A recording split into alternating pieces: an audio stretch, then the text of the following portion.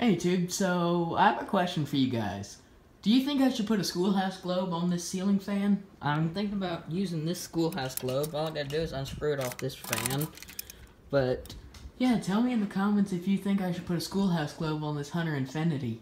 I think it would look pretty nice, but hey, you guys decide. Do you want a schoolhouse globe on this? I'll make a video of it as soon as as soon as somebody says yes, I'll pin your comment and I will put a schoolhouse globe on the ceiling fan. So yeah, bye.